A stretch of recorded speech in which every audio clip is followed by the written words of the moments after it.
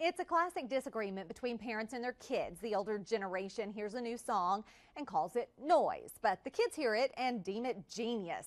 Elvis, the Beatles, Run DMC, Madonna, Kanye West. It's the one constant in an industry that's always changing. And lately, dubstep has caused the divide. The music genre, known for its loud, obnoxious beats and clanging harmonyless tracks, has been called everything from modern masterpieces to just plain junk. But one DJ in Holland made some dubstep music using a pretty familiar toy. Check out his, his work with a farm animal soundmaker toy in this week's Trending Tuesday.